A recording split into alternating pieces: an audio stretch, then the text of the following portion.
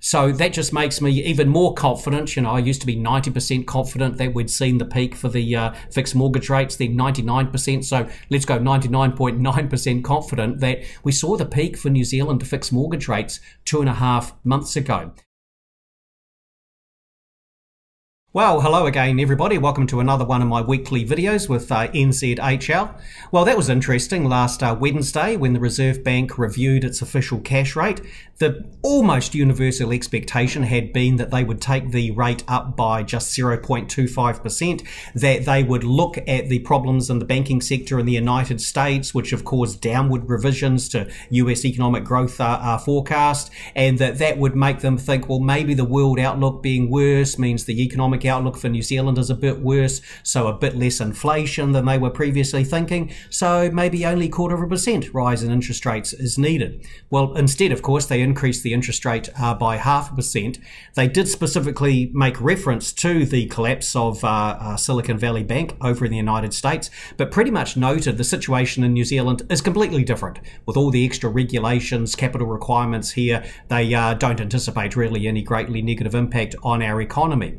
But the the interesting thing they did do is note that the weakness in the uh, US economic outlook has led to falls in US wholesale interest rates, which have fed through to those bank borrowing costs in New Zealand going down and the Reserve Bank have become fearful that because the cost of banks in New Zealand has been going down, that there might be a round of interest rate cuts, mortgage interest rates actually going down, which is not what they want to see. So they pretty much explicitly stated that they're increasing the official cash rate 0.5%, but they don't expect it to lead to interest rates actually going up. They're doing it to stop interest rates going down.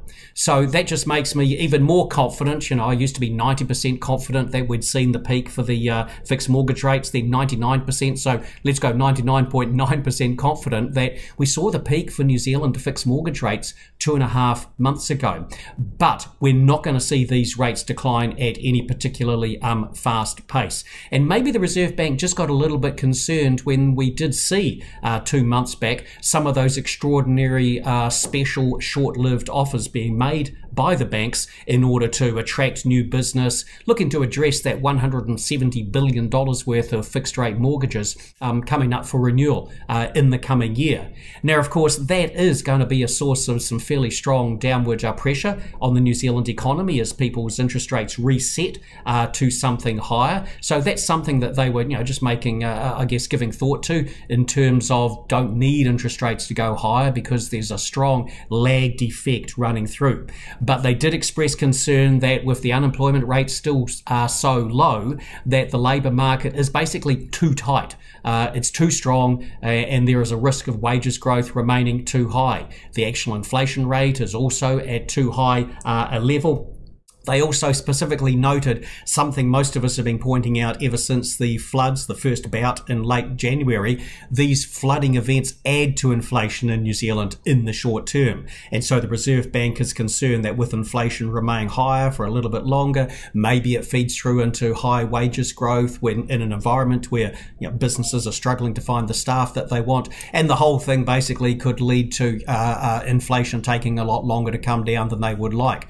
Now, what they did note explicitly at the end of their comment there was that they don't anticipate, they didn't indicate that they expect to be raising interest rates um, again. That's something they've been saying for about the past year and a half that further monetary policy tightening is uh, likely to be required. Now they've basically said they've got a view on how rapidly the economy is going to uh, slow down and they're going to be assessing the data as they come out over the next few months, essentially to see if their expectations are being met.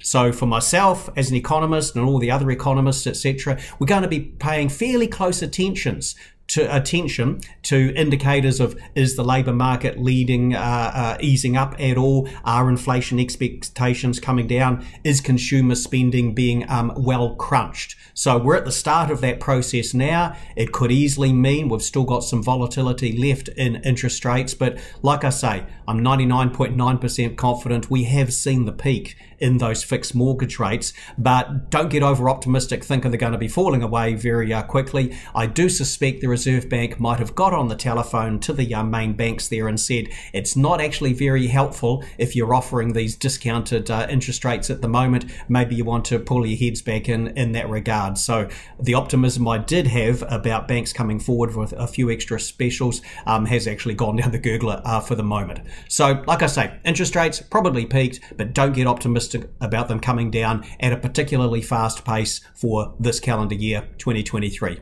All the best out there.